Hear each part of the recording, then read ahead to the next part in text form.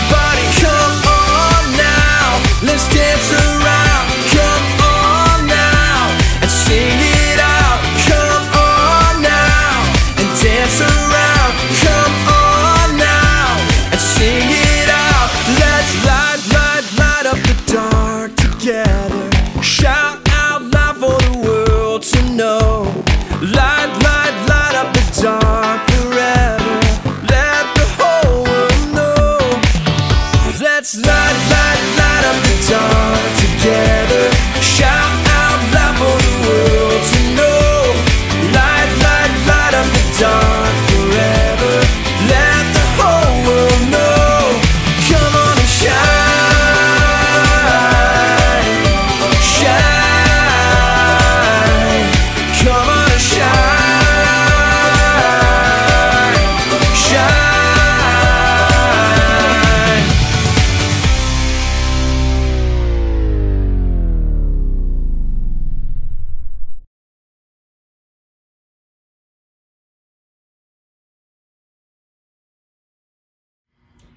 Thank you, Miss Aubrey, for leading us in such an amazing time of worship.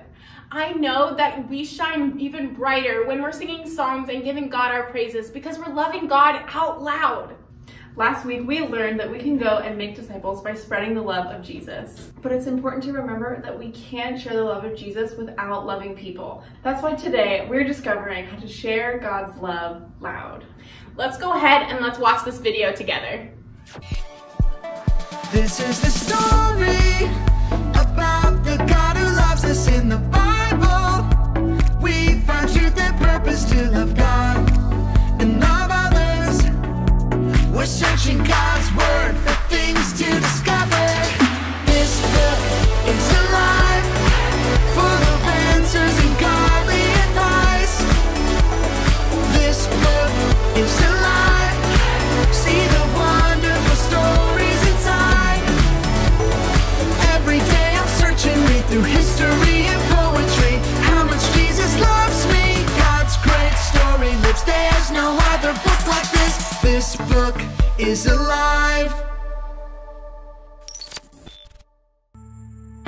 Bible tells us to love. But have you ever wondered how to do that?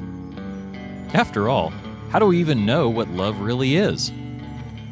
The Bible talks a lot about love, and one of the people who loved best of all was John. That's because he was one of Jesus' very best friends.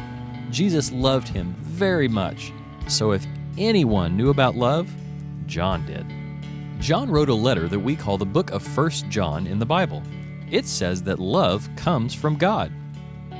Love is who God is, and only God can give us a new heart, a heart that knows Him and loves like He does.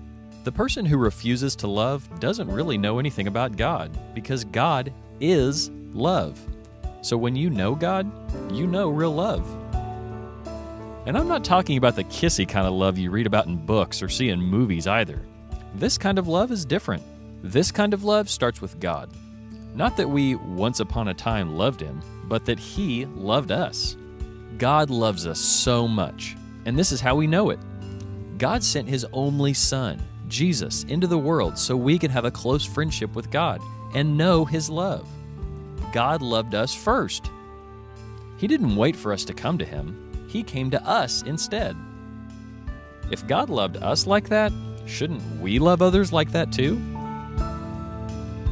When we love one another, we show what God is like. As we love others, His love becomes stronger and healthier and bigger inside of us. That's perfect love. That's the kind of love the whole world can see. So we can love others because we can show them the kind of love God has for us. So you see, whoever loves God must also love others. Loving God includes loving people. You can't love one without the other. You've got to love both. That's because God is love, real love. And that's what it's all about. God is love.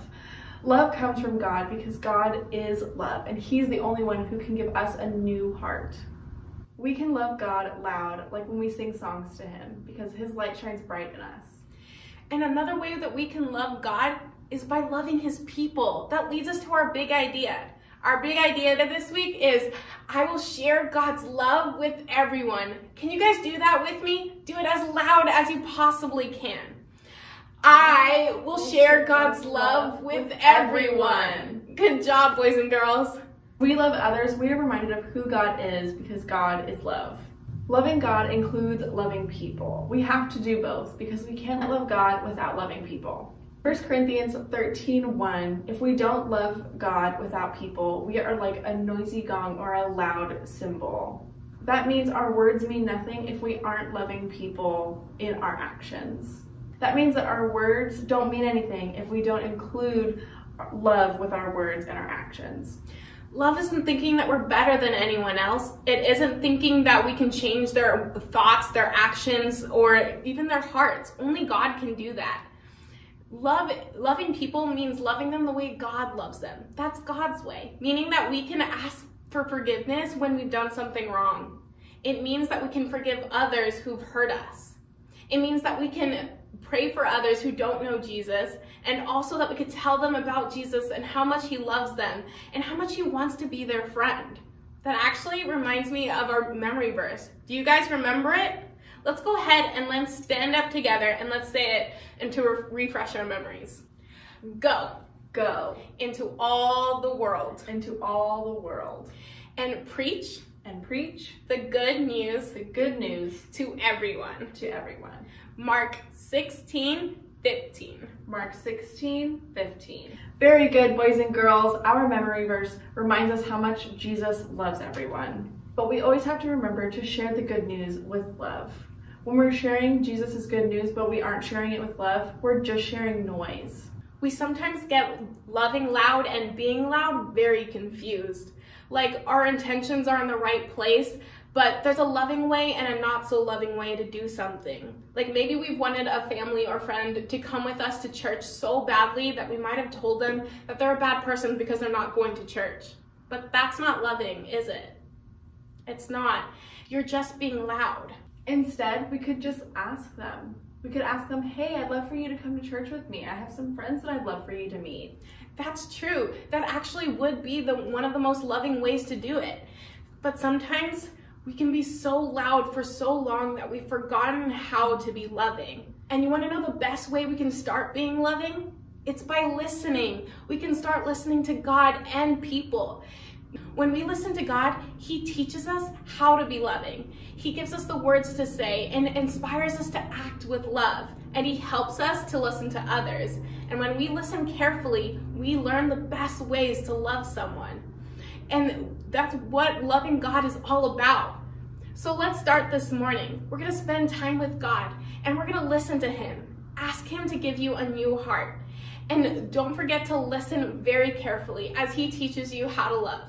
As you grow in listening to God, you get to learn about growing in real love too. So go ahead, find a quiet place with no distractions, and spend some time talking to God.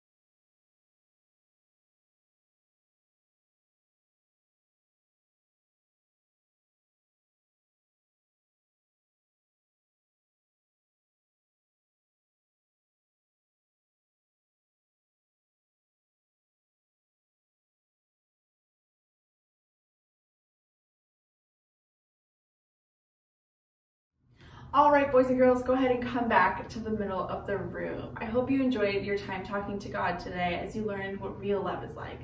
Now you get to go out and practice loving loud and shining even brighter. But before you go into small groups, let's go ahead and let's pray together. Hi, God. Thank you for loving us so much. Your love is so bright, and we want to show your love to others so that it shines even brighter. We're sorry for the times that we haven't been loving. Holy Spirit, give us a new heart, one that's ready to listen more, one that's ready to love the way that you love us. We love you, God.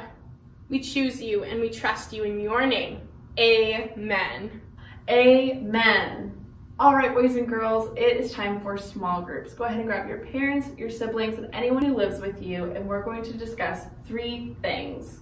You're going to discuss what you've learned today, encounter God by taking a look at the book, and then you're going to pray, asking God to help you encounter what you discovered today. I know you're going to have a lot of fun in your small groups, but don't forget to come back here for an awesome encounter activity.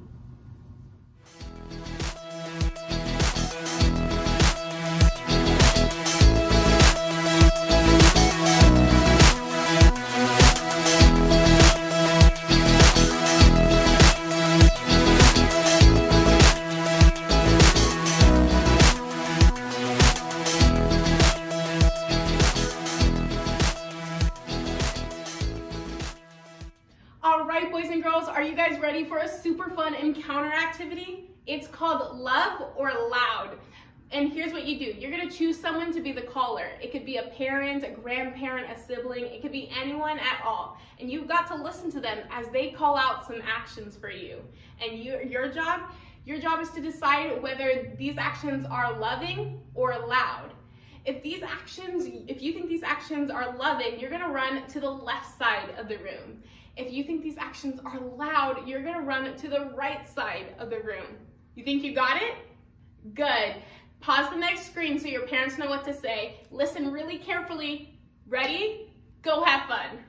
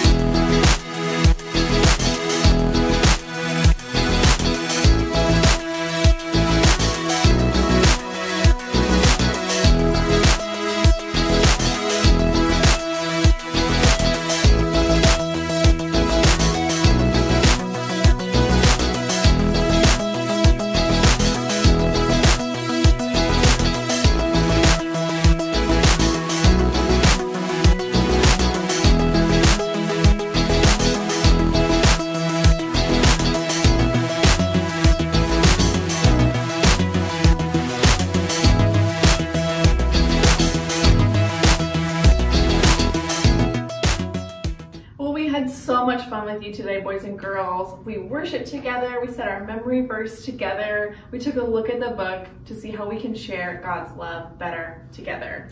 And that's not it. We also learned the word of the year. It's brighter. How cool is that? We are so excited to discover more with you next week. We'll see you really soon. But before you go, remember, you are loved. Bye.